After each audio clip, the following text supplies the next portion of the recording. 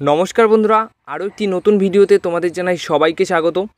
আজ তোমাদের করা দুটি প্রশ্নের উত্তর কিন্তু এই ভিডিওতে দিয়ে দেব। তাই এই ভিডিওটা একটু স্কিপ না করে পুরো শেষ পর্যন্ত দেখতে থাকো। প্রথম যে প্রশ্নটার উত্তর দেব সেটা হচ্ছে, অনেকেই কম বেশি একই প্রশ্ন করেছ, হুগো বুমোসকে নিয়ে। হুগো বুমোস প্লে অফসে কি খেলতে পারবে এটিকে মোহনবাগান দলের হয়ে? এটা নিয়ে একটা সংশয় তোমাদের মনে রয়েছে, আর এটা নিয়েই তোমরা প্রশ্ন করেছ। তো তোমাদেরকে বলে দিই লাস্ট একটি ভিডিওতে আমি বলেছিলাম যে হুগো বুমোস কিন্তু তিনি পরবর্তী ম্যাচগুলোর জন্য একদম তৈরি হওয়ার জন্য, চোট থেকে ভালোভাবে রিকভারি হওয়ার জন্য অলরেডি মাঠে নেমে পড়েছেন, অনুশীলনও পুরোদমে করছেন।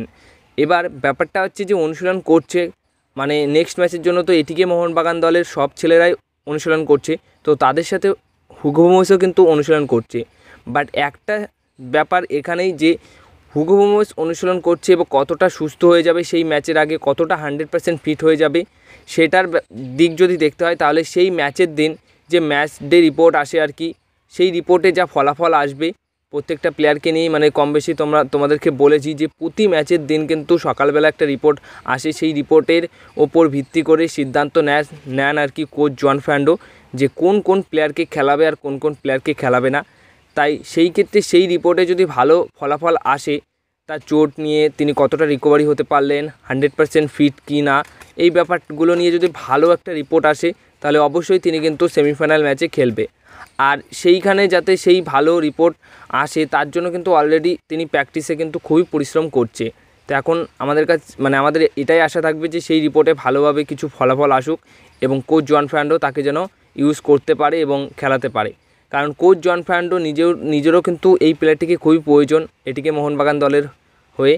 তো তাই কোচ জন ফ্র্যান্ডো যতদূর চেষ্টা করছে যে এই প্লেয়ারটিকে যেন খেলানো যায়, বাট চোট সমস্যাটাই কিন্তু বেশি ভোগাচ্ছে এই এটিকে মোহনবাগান দলকে। তো দেখা যাক কী হয় শেষ পর্যন্ত।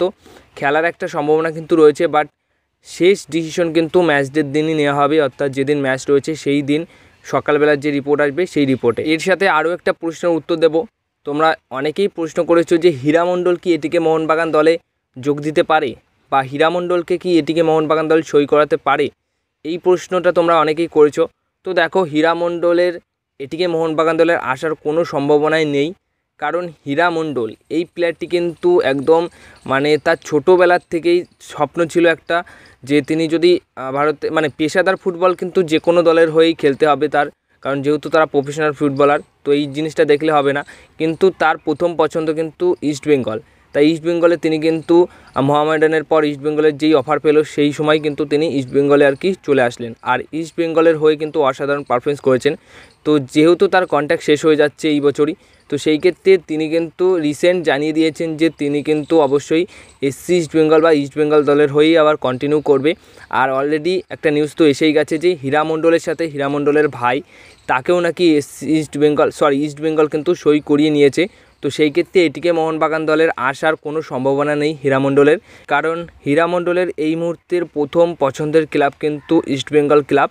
তো তিনি যদি অন্য কোনো দলেরও অফার পায়, তাহলে সেখানে যদি ইস্ট বেঙ্গল ক্লাবের অফারটা থাকে, তাহলে সেটাকেই তিনি বেশি প্রাধান্য দেবে। কারণ তার প্রথম চয়েস কিন্তু ইস্ট বেঙ্গল। তাই লম্বা চুক্তিতে কিন্তু ইস্ট বেঙ্গলের দলেই থাকতে চলেছেন। হয়তো আশা করা যাচ্ছে দু থেকে তিন বছর তো তিনি কন্টিনিউ করবে ইস্ট বেঙ্গল দলের হয়ে। তো এই হচ্ছে প্রশ্নের উত্তর, দুটি প্রশ্নের উত্তর কিন্তু দিয়ে দিলাম। ভিডিওটা যদি ভালো লেগে থাকে, ভিডিওতে লাইক শেয়ার কমেন্ট সাবস্ক্রাইব সব কিছু কিন্তু তোমরা অবশ্যই করে দিও।